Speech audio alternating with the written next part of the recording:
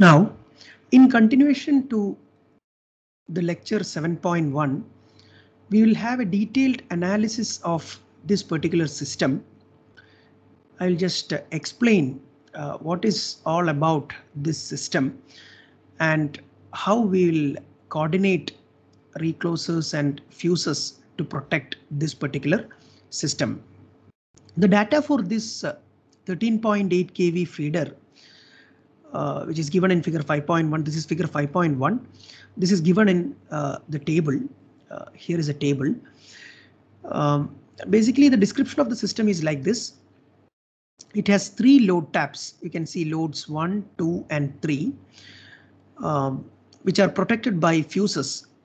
Uh, the load 1 is protected by 65T fuse and loads 2 and 3 are protected by 100T fuses.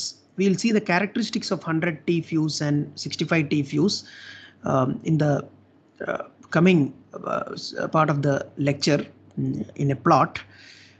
Before that, we'll see what is the kind of temporary fault uh, that will occur on this particular system and how the recloser will recloser is set to trip and reclose Uh, instantaneously or with a uh, time delay to clear this particular fault and restore the service.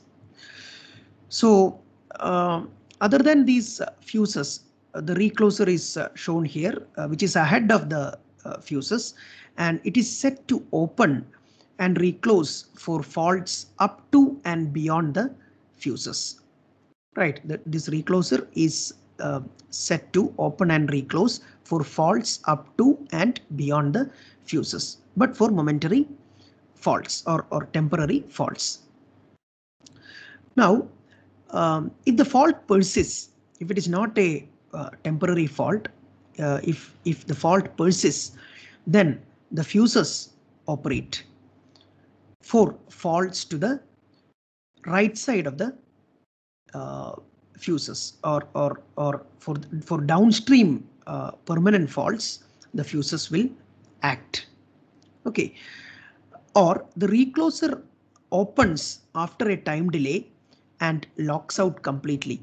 In the previous lecture uh, we discussed about locking out. That that means it will uh, i mean permanently this will open and it will uh, isolate the faulty part of the system but this happens only if the fault is in between the recloser and the fuse because beyond the fuse, the fuse is there to protect. If, if the fault is before the fuse and after the recloser or in between the fuse and the recloser, then the recloser will lock out if it is a permanent fault. Now separate time delay overcurrent phase and ground relays uh, are shown here. Um, these relays send trip signal to the substation circuit breaker after multiple reclosures of the recloser. After multiple um, reclosures of the recloser, still if the fault persists, then if the if the whole uh, I mean the, the whole section is to be isolated, then the circuit breaker will act or the or the substation circuit breaker will act. Now coordination of fuses and uh, reclosers um, and the time delay overcurrent relays.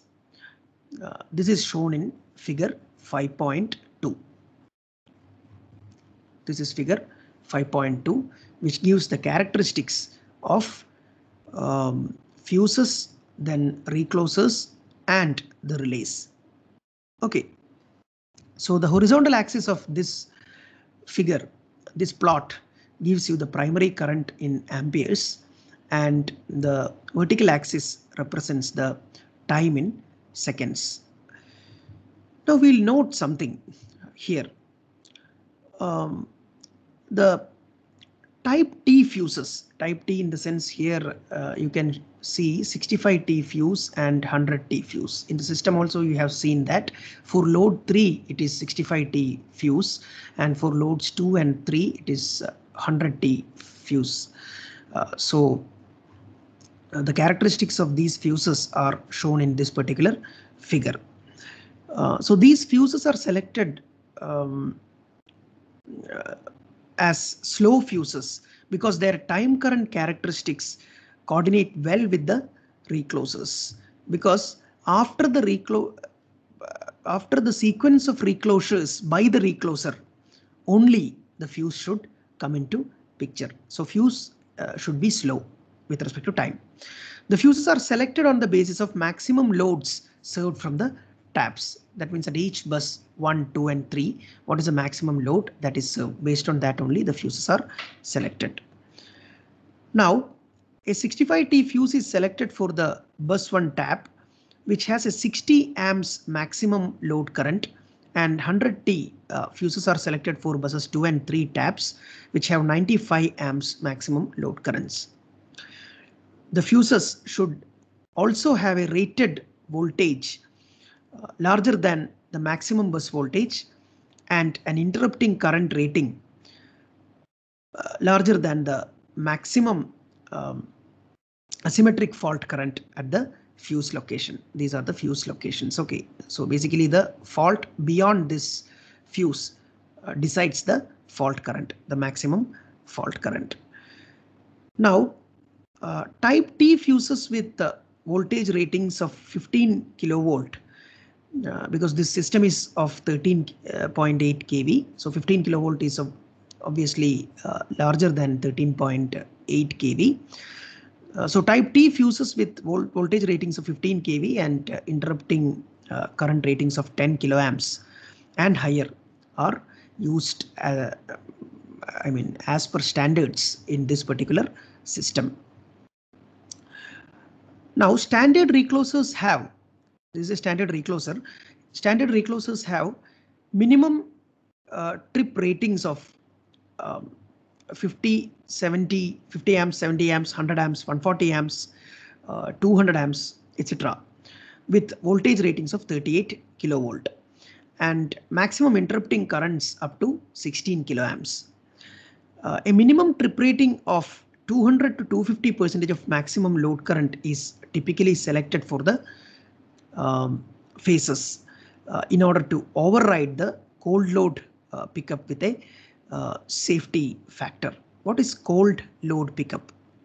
Cold load pickup in the sense, uh, if this load is, uh, we are connecting this load for the first time, then there is an inrush of current that should not be uh, mistakenly, uh, I mean, identified as or, or misidentified as a fault by the protection protective device right? So uh, the minimum trip rating of the recloser should be 200 to 250 percentage of the maximum load current. So this safety uh, margin is already kept.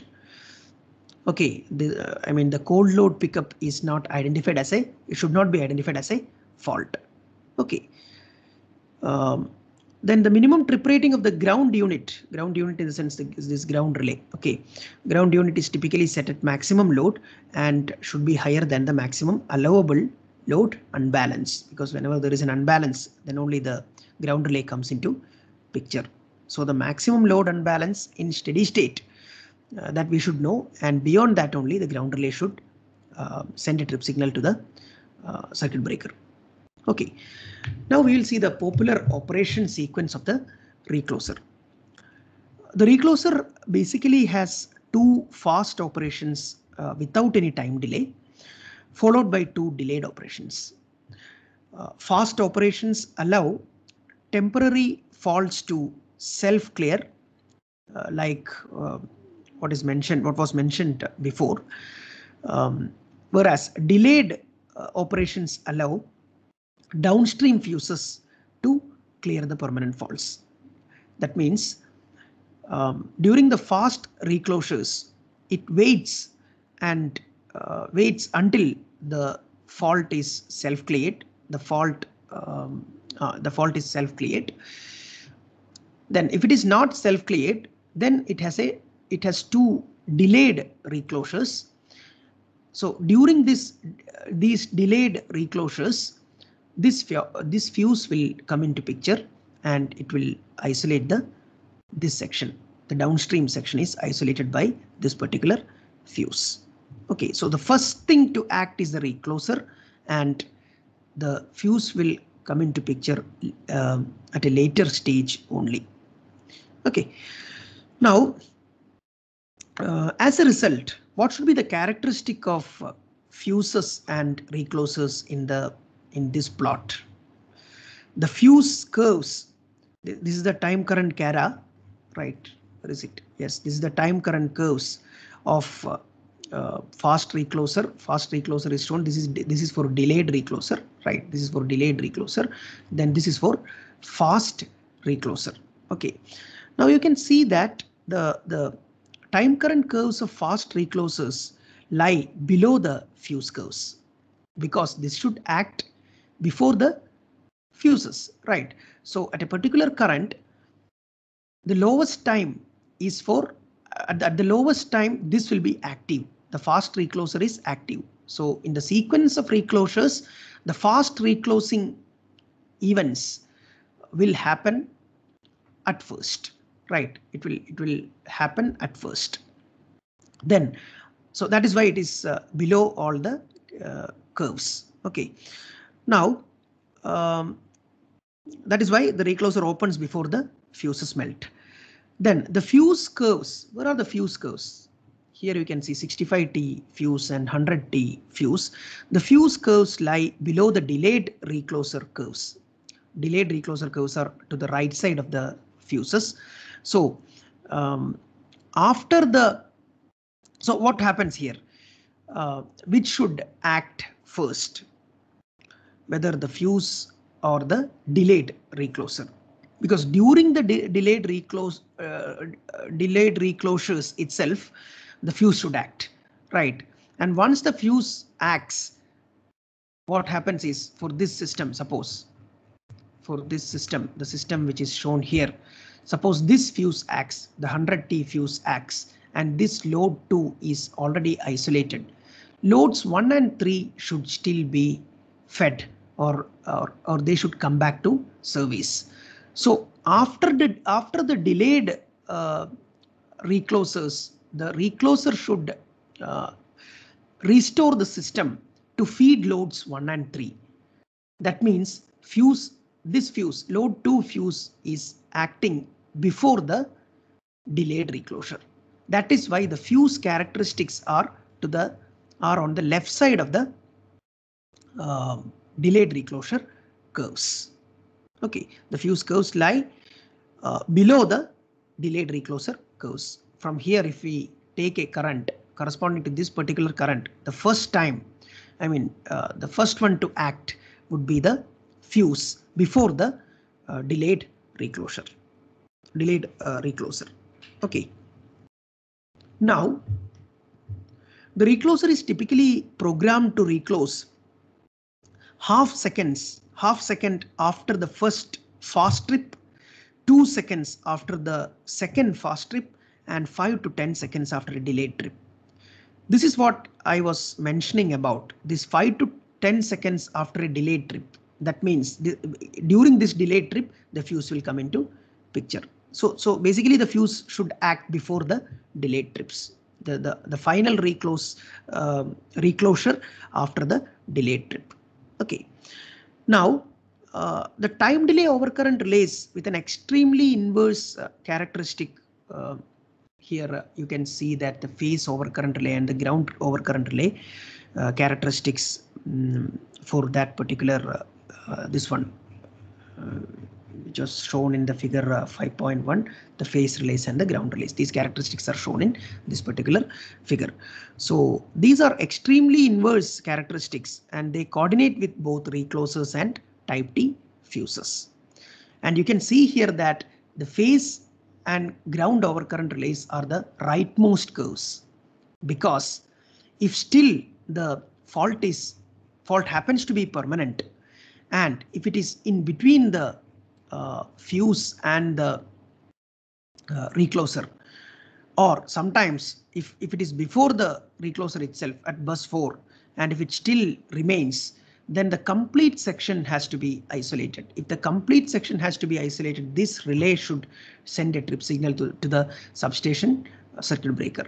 So this happens at last only. That is why this is on the rightmost side of the plot. Okay, rightmost side, uh, the, the rightmost curves are uh, curves correspond to phase overcurrent relay and ground overcurrent relay. Okay, now uh, let's see an example uh, to um, see the operation of recloser and fuse for permanent and temporary faults. Okay.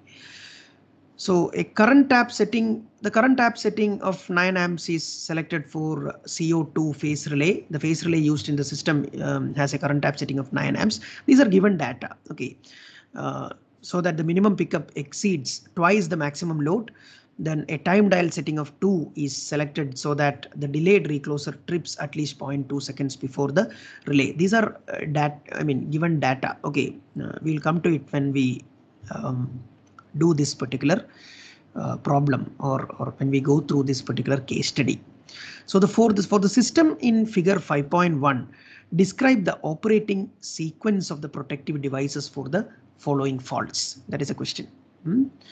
Um, for this particular system, suppose if we have two if we have two different faults, the first one is a self-clearing temporary three-phase fault on the load side of tap 2. This is tap 2. Okay, on the load side of tap 2, we have a self-clearing temporary three-phase fault. So now we'll see how these protective devices respond to this particular fault.